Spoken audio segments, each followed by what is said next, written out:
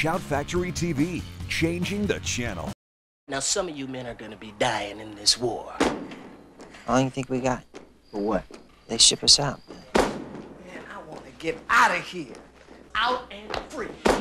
I hate it. Yes, I know. Everybody hates it. Don't you think I hate it, Martin? You know, I got my draft notice. This damn Vietnam didn't even exist. We fought it through two wars already, and we're gonna make it through this one. I mean, you can be decent about anything. You see what I'm saying, Rog? I mean, I just think we all ought to be honest with each other. You ain't really done that stuff. What? That fag stuff. What does it matter? Some guy or some old broad, you close your eyes and mouth and mouth, it don't matter. You know, I've been in this army for three months and ten days. I ain't been happy one day, mister. That's a lot of misery back to back in this old boy. I'm a 24-year-old college graduate, and I got a knife in my hand. I never faced anybody in my life with anything to kill them. Look sharp, off and on.